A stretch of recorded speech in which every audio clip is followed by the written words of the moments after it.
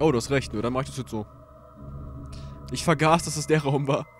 Aha. Die Tür ist zwei Meter von dir entfernt gewesen gerade. Nee, das sehe ich aber jetzt nicht ein. Becky Schätzelein, bleibst du mal hier. Zombies können ja nicht durch Türen gehen, wie wir wissen, von daher ist das jetzt sicher. Ich lach dich so aus, wenn du Becky jetzt den Feuerschlüssel gegeben hast. Scheiße, das hab ich sogar. Ich hätte sie gesagt, aber. Hm.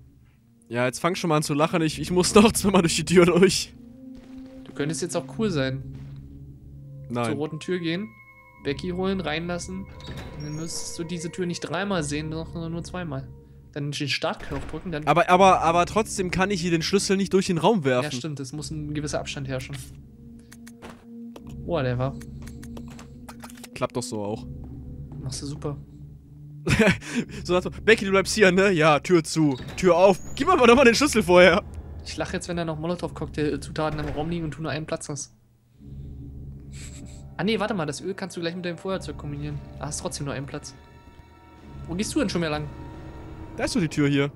Oh, das ist ein Zombie.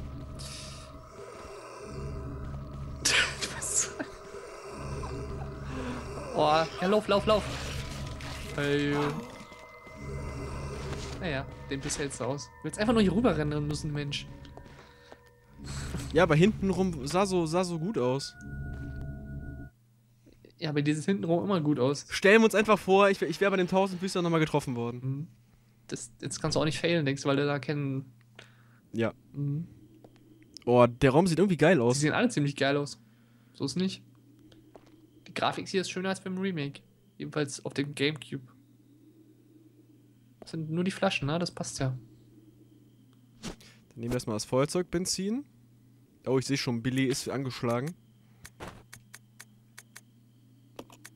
Nach einem Biss? Oder waren es zwei? Ja, ich, nee, äh, es war ein Biss, aber, aber ich wurde ja vom Tausendfüßler ein paar Ah, Mal ja. ge, Ah, okay. gekratzt.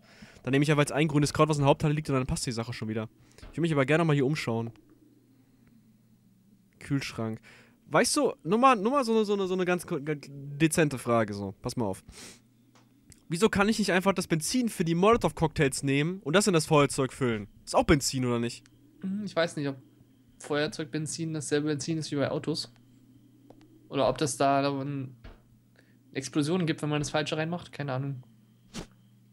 Nein, ich kann dir sagen, warum. Die Erklärung ist einfach nein, weil ist, ist einfach nicht so. Ja, das sowieso. So, gucken wir nochmal, ob ich jetzt hier rauskomme, ohne, ohne ultra stark gebissen zu werden. Du musst einfach nur rüberrennen. Die stehen nie in dem Weg. Sei denn, die werden jetzt nicht resettet.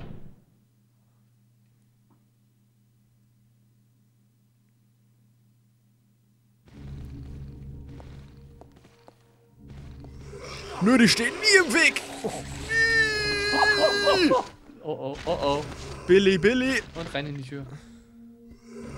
Oh, Immerhin haben die nicht zwei gleichzeitig gebissen. Das geht nämlich bei Zero, glaube ich.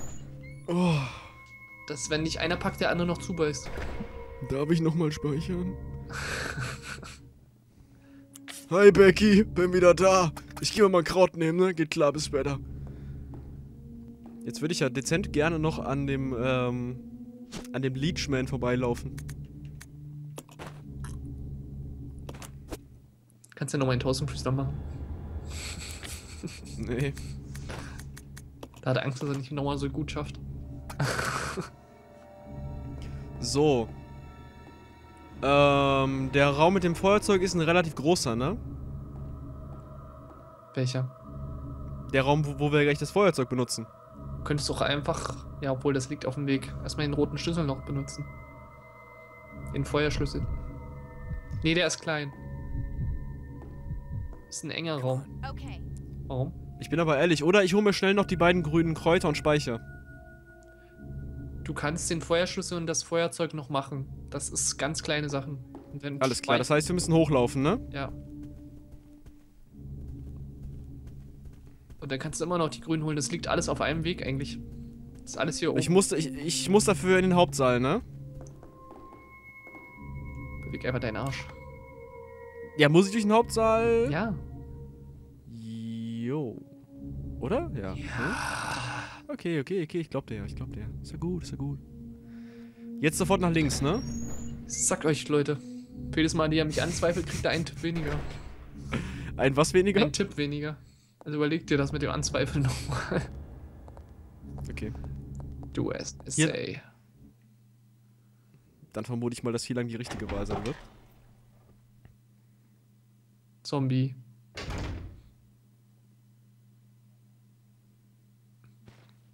Zombie Blues. Der Zombie ist dezent näher als ich dachte. Becky, geh mal da weg.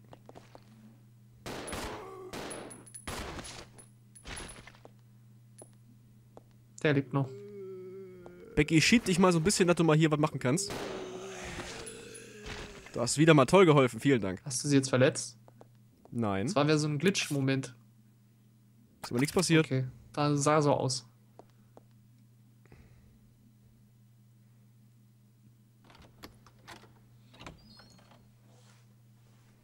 So.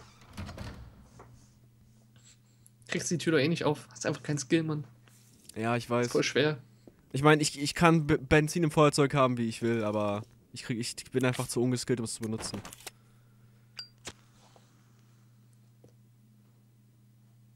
So schön.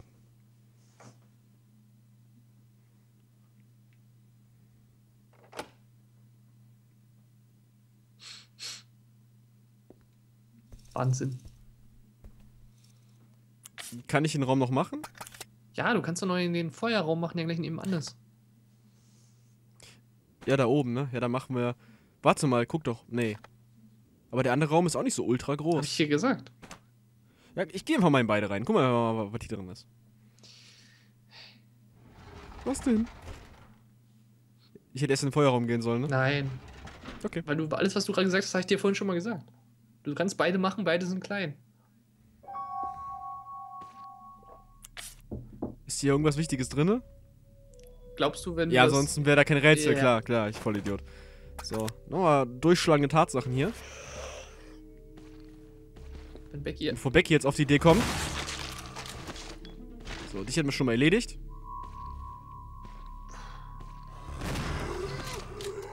nimm die Pistole, wenn Würde- er noch lebt. Ja, ja, klar.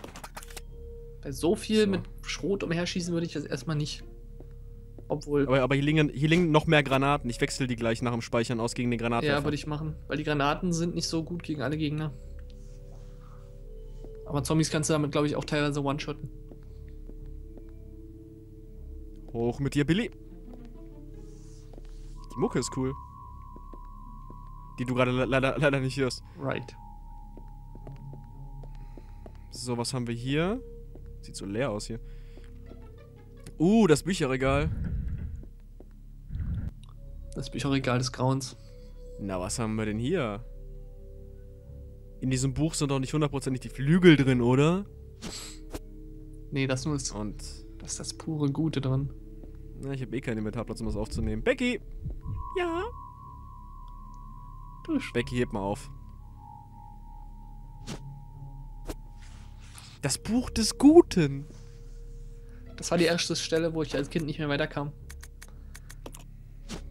Weil du es nicht resitypisch untersucht hast. Weil man das in Resident 2 nie machen musste. Und ich die Mechanik nicht kannte. Ja, gut. Von einer bestimmten Be- Seite vor allem. Ich habe es nur von vorne angeguckt, wahrscheinlich. Ja, ja. Aber das, das So. war nicht die schlimmste Stelle, die kommt noch. Es, war, es gab zwei Stellen, wo ich nicht weitergekommen bin. Ich hatte beide Bücher und wusste nicht, was ich damit anstellen soll. Ja, gut, das ist kacke.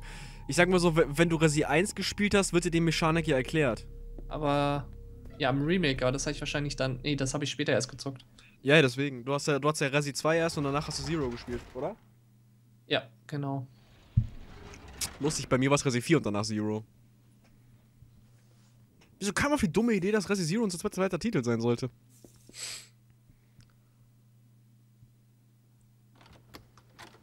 Ja, da kriegen wir alles noch hier hin, Freunde. Das kriegen wir alles noch in dem Part hier.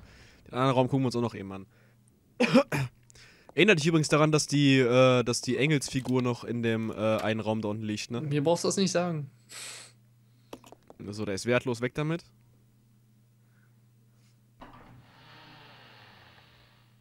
So, wollen wir mal gucken, was hier noch so drin liegt. Hier ist bestimmt das Buch des Bösen irgendwo. Buch des Bösen. Sieht schon cool aus. So von den Räumen her und der Musik passt das ja alles. Tut's ja auch. Behauptet ja keiner, dass es nicht tut. Du bist ja der, der es immer hatet. Du bist schuld. So, ich werde, ich muss den Lichtschalter hier drücken, oder? Wer, Komme ich hier schon Wär- durch? Natürlich. Wäre empfehlenswert. Aber du kannst das Ding ruhig erstmal voll ranschieben und dann einfach rüberklettern. Warte. Ah, hier liegt noch Pistolenmunition und ein Dokument. Möchtest du? Jojo. Und Du hast dich schon genug selber gehört. Ey. Muss ich mir Mühe geben? Ja. Tagebuch stellvertretender Leiter. 2. September. Wie üblich völlig unfähige Praktikanten. Wo findet die Zentrale bloß diese Idioten? Allerdings sind diesmal zwei gute dabei. Ich kann also nicht klagen. William und Albert. Aus denen könnte was werden. 25. September. Will, der Denker. Al, der Praktiker. Völlige Gegensätze. Und jeder versucht zu beweisen, dass er besser ist als der andere. Beide scheinen rücksichtslos und grausam zu sein. 7. Oktober. Heute rief mich unerwartet der Leiter an. Er will, dass ich die Rivalität zwischen den beiden fördere.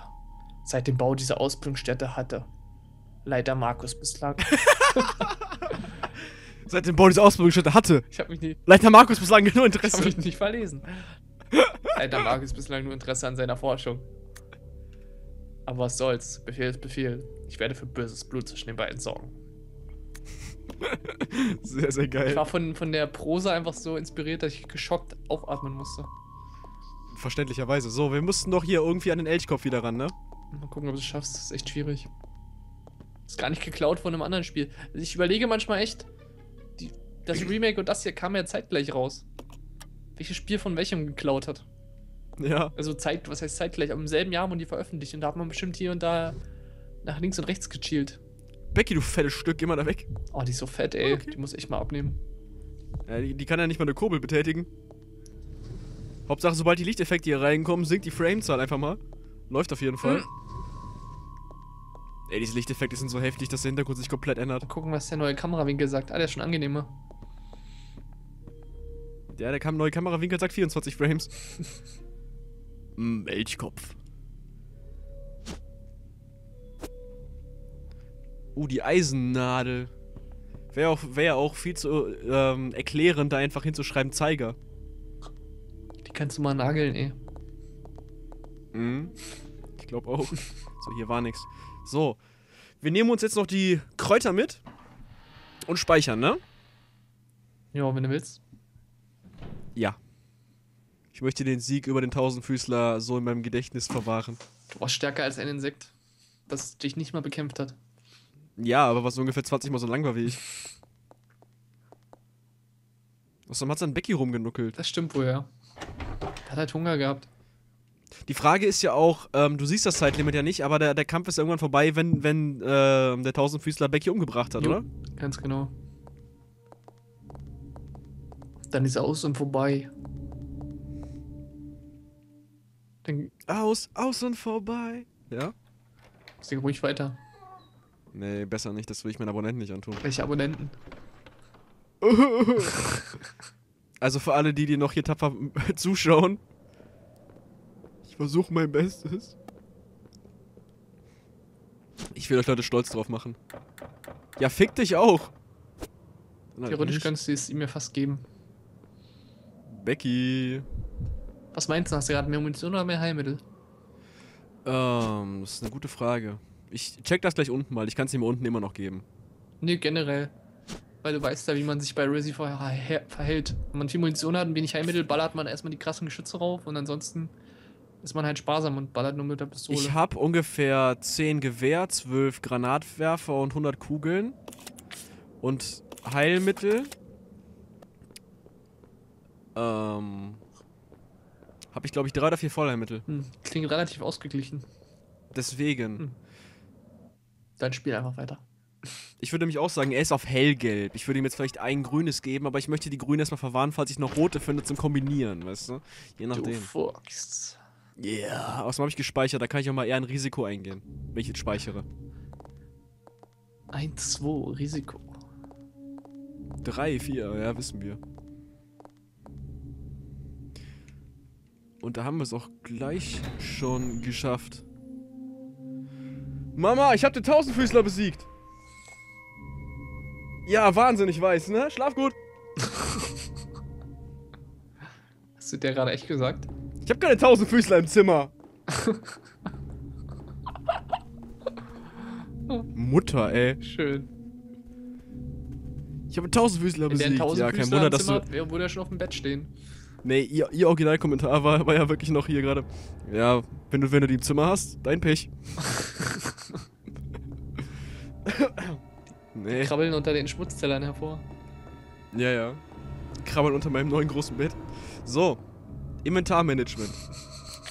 Das kriegen wir doch in diesem Part noch hin. Original, meine Mama ist jetzt in Zero mit dabei, auch wenn ihr sie nicht gehört habt. Läuft. So. Die Engelsflügel können wir ja erstmal ablegen, ne? Die brauchen wir jetzt. Oh, fickt euch doch ohne Scheiß. Weißt du, was ich lustig finde? Was findest du lustig, sag mir. Du hast die schwarze Statue und die weißen Flügel. ja, ne? Das du kombinieren kannst. Ja, boah, wir haben viel zu viele rumliegen. Wir brauchen einen zweiten Itemraum. Speicher einfach und du machst das Item-Management beim nächsten Mal offscreen. Ja, ist auch ein guter. Ich glaube, davon haben die heute genug gesehen, die Leute. Es sei denn, du möchtest Ja, etwas erzählen. Nee. Ich möchte erzählen, wo, dass ich die Farbbänder gefunden habe. Bist du die Farbbänder? Nein, du bist nicht die Farbbänder. Ja, hast ja fast, sieht ja fast so aus. Ach, sehr leise. Wo sind die Farbbänder? Da sind die Farbbänder ganz hinten in der Ecke. Gut, dass wir alle, alle mit einem Peilsender ausgestattet haben, dass wir genau wissen, wo die sind. Ah, die sind hier hinten in der Das Ecke. wäre im Real Life manchmal echt nützlich. Ja, so für die Fernbedienung oder die Autoschlüssel, ne? Derbst. Ah, so, speichern. Sollst speichern. Was soll ich hier mit der Flasche, Alter? Willst du jetzt besaufen vom Ende? Nur am Süff, nur Speicher. am Süffeln, der Junge. Nur am Süffeln hier. So, mach mal einen dritten Slot. Weil ich habe ich hab, ich hab ja genug MB auf dem Rechner. so. Das war's mit Resident Evil erstmal. Wir haben es geschafft. Ich bin mega stolz darauf. Es läuft. Es läuft. Im nächsten Part holen wir uns die Flügel des Bösen. Hoffe ich doch mal. Und dann kommen wir ja auch endlich mal wieder aus der Halle hier raus, ne? Dann flattern wir davon. Genau. Alles klar. Vielen Dank fürs Zusehen. Das war Chris. Ich bin Andi. Und wir sehen uns beim nächsten Mal. Ciao. Ciao.